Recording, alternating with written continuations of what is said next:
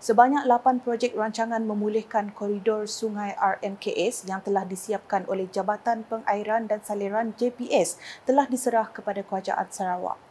Menteri Sumber Asli Alam Sekitar dan Perubahan Iklim Nik Nazmi Nik Ahmad berkata, projek yang diserahkan itu melibatkan koridor-koridor Sungai Batang Kayan, Batang Balingian, Batang Sadong di Pekan Gedong dan Serian, Batang Sadong di Simunjan, retaining wall Sungai Baram, Rumah Naim, Pekan Sabtu Oyak dan Betong.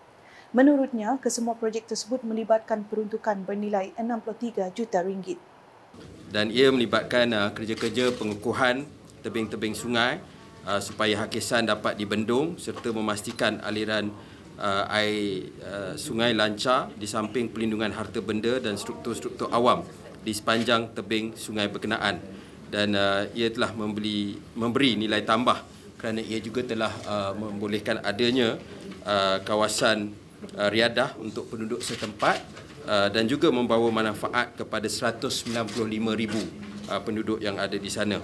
Jadi uh, Beliau berkata demikian dalam sidang media selepas mengadakan kunjungan hormat ke atas Premier Sarawak, Datuk Petinggi Tan Sri Dr. Abang Abdul Rahman Zohari Tun Datuk Abang Openg di Wisma Bapa Malaysia di Kuching pada Isnin.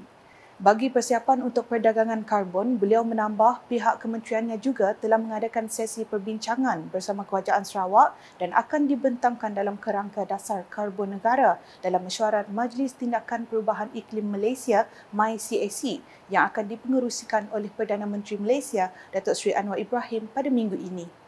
Buat masa ini belum round undang tidak ada, dia di peringkat uh, polisi lah di peringkat dasar. Uh, kalau sebab kita tahu yang sekarang yang sudah pun berjalan ialah uh, voluntary carbon market.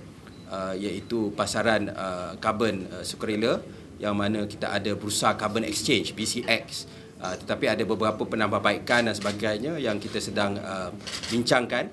Uh, dan kita juga adakan perbincangan menyeluruh dengan uh, kerajaan-kerajaan negeri.